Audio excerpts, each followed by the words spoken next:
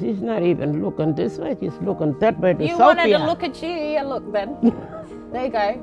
There. Ah, hello. there. That better? hello. You're right, you'll be running around in no brows.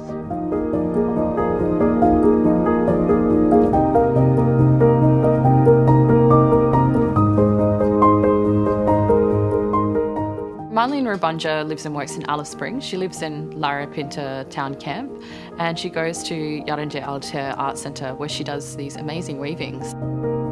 The amazing thing about Marlene and the reason that I chose her for Badu Gili is her charisma and her charm and her sense of humour. This woman has a dilly bag on her head for no particular reason, which I think is hilarious. Why did you decide to put it on her head? Uh, might be walking around in the hot sun. Well, she need a hat, but I haven't put that one now.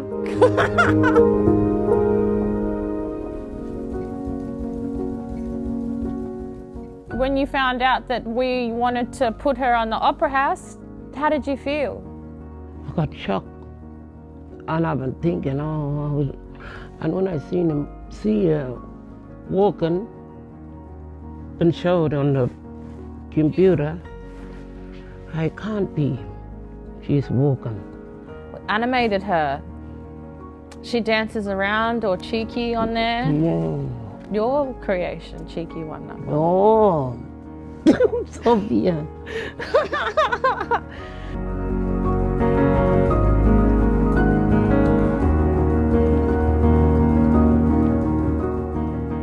The animators really thought about the process that each artist goes through. So when we get introduced to her work, it's these lovely loops of the wool that she uses, and they kind of part to show little Nyapa Nyanka. And she peeps through these little woven areas and then dances across the sails. I think it's just so great that they've tried to capture both her practice, the materials that she uses, and her sense of humour in that one animation. We actually use some really interesting techniques, um, photogrammetry and, and motion capture. So what photogrammetry is, is 360 degree photo capture around a 3D object. We stitch all those photos together and then we are enabled to create a 3D model. We then go at character rigging so we can actually create an internal skeleton for this 3D figure. And to create the movement, our animator actually got into a motion capture suit.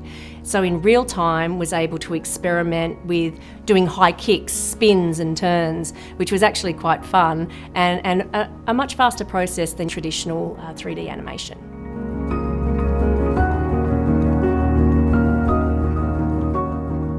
I think she's tired from running around opera house. I seen her running up and down and jumping up and running, turn around again. I think you're tired, eh? She just been rehearsing, that's all.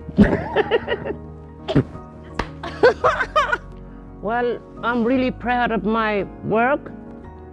To tell you, Mom, Are you proud of yourself? I'm proud of myself too.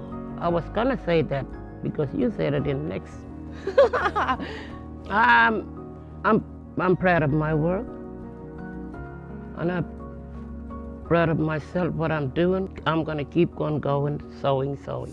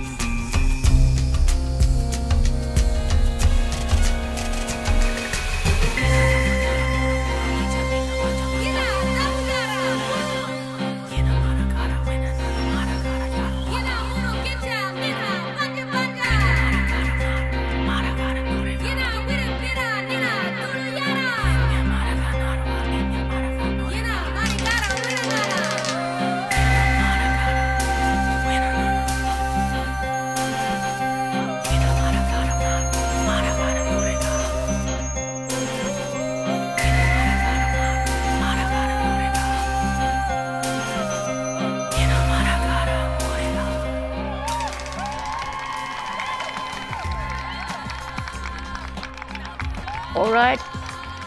Look after this one. Eh?